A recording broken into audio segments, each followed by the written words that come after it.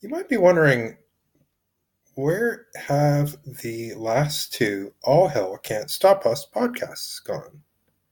After all, one was certainly on this channel a week ago, and the other was briefly on the channel for those of you who were there for like the you know a couple seconds that it was up, and then uh, you'd expect that it would be on the channel by now, given that the recording on Facebook was made on Sunday, and it is now currently Wednesday. So, where is it? Where are those two videos, you might ask? Well, it turns out uh, I have been snagged by the Content ID bot that YouTube uses to enforce copyright, uh, I guess, adherence on YouTube. And the two particular clips uh, that I was caught with uh, do differ a little bit in details. Uh, one of them uh, was Triad's Peace on Earth, which there's so many levels of why it should not have been flagged, uh, or my account shouldn't have been flagged for it. Uh, I, I, didn't get a strike on my account, so I'm not in danger of my YouTube account being uh, taken away from me for posting this Creative Commons song about world peace, or at least uh, increasing peace uh, on Earth. Uh, and so this this copyright is getting in the way of promoting this song on my podcast. Uh, and what had basically happened is because I included this song in this podcast, uh, my video was not eligible for Creative Commons in and of itself, which is ridiculous because the, the license of the song was Creative Commons. The album the song came on was Creative Commons. Uh, and I'm using that as a part of a larger Creative Commons work, but YouTube incorrectly flagged it and is prohibiting me from using or from making a Creative Commons work based on it. And so it rather than give you a work that is not Creative Commons, I'm not giving you this work at all. This when I produce something for you, the world, the the people who are watching this, I'm doing it so that you can take it, share it, build with it, uh, mix it up, do whatever you can, uh, as long as you abide by the you know the, the Creative Commons, which is a pretty liberal uh, permissive license. Um, and so when I am prevented from doing that, I feel that this is harming you, my audience. And I'm not going to be party to that. I'm going to wait until I can have the full podcast available uh, on a uh, medium that doesn't have such a restriction. And I'm looking for such a medium now. If you have any ideas, uh, definitely leave a comment on this video. I know DTube is on the short list, as is Vimeo uh, as well as just setting up a server of my own. Uh, the other uh, video, uh, there was a clip from a Jello Biafra talk on that, uh, which was flag again flagged for copyright.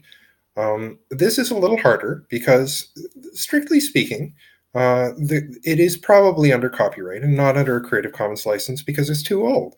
It's so old that this predates the Creative Commons.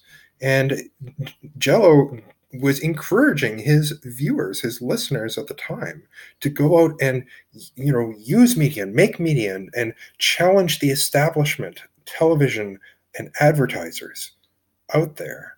And he would be the first to say that he and his voice should be echoing from the the major media outlets that his skepticism of the status quo circa 1990 or 1998 or whatever uh, that was what was needed in the world was his words rebroadcast was his ideas retransmitted.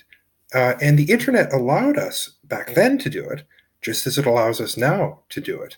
And sure there's you know more that can be said. He's one guy with one particular perspective. It is valuable to not just parrot his words and to come up with our own original unique thoughts and think for ourselves.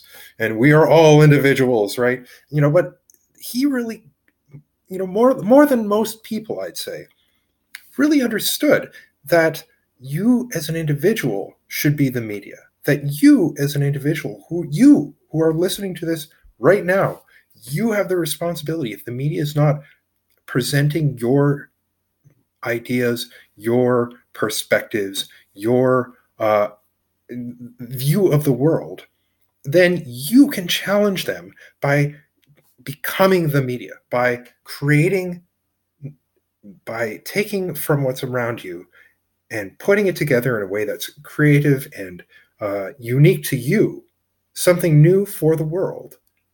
And there's a long history of this. The zine movement and the punk movement, uh, you know, people would photocopy things and then, you know, edit and physically using scissors and glue or whatever else, uh, make newsletters that would then be photocopied uh, and then physically mailed or handed out or whatever. Um, did they clear every single one of their samples? Did they clear every single one of their, you know, clip art? No, of course they didn't. Uh, and so, is it strictly according to the law necessary for me to have gotten his permission for using that clip? Probably. Is it within the spirit of the law? Is it within the spirit of what he was saying to take his words to give it a broader audience in the context of encouraging people to think for themselves and to grab hold of the media in their lives? I think that was permissible.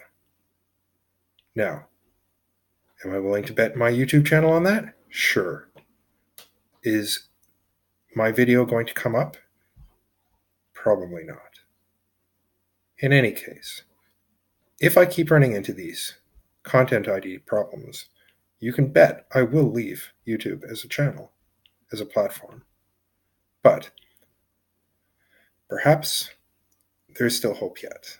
I haven't had my account removed, but just in case you're curious, this is why. This is where those two videos went.